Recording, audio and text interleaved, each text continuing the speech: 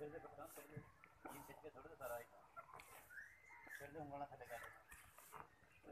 ਧਿਆਨ ਨਾਲ ਕਾੜਾ ਹੁੰਦੀਆਂ ਨੇ ਜੀ ਨਾ